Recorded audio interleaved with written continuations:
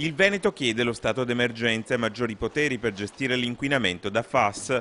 Dopo aver fissato i limiti più severi d'Europa, la giunta regionale mette in atto il secondo step.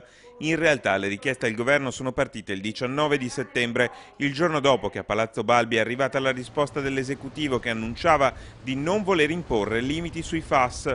Un contropiede reso noto a poche ore dall'annuncio del governatore del Veneto Luca Zaia di essere pronto a emanare proprio quelle norme regionali sull'inquinamento dell'acqua, una presa di posizione che ha raccolto addirittura il consenso dei 5 Stelle.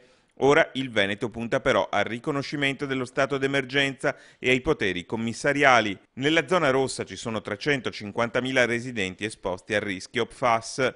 Jacopo Berti parla tuttavia di decisione arrivata tardi e rilancia bene la scelta di introdurre i limiti, ma ora non si perda altro tempo va chiusa immediatamente la linea di produzione dei FAS, perché questo inquinante va chiuso e risolto alla base. Quattro anni sono passati nell'immobilismo più totale, nella sottovalutazione del problema e nessuna conferenza stampa ridarà indietro quei quattro anni di vita ai cittadini e ai 350.000 veneti coinvolti in quella zona. Stoppa le polemiche il ministro Galletti impegnato in visita in provincia di Treviso. Bisogna fare in fretta, ha spiegato, e usare le risorse disponibili per mettere mano alla rete idrica. Eh, se la Regione fissa dei limiti esercita le sue competenze, oltretutto so che c'è un referendum sull'autonomia, in questo caso è autonoma nel decidere i propri, i propri limiti. Per quanto riguarda il mio Ministero non voglio far polemiche, dico che oggi le risorse ci sono,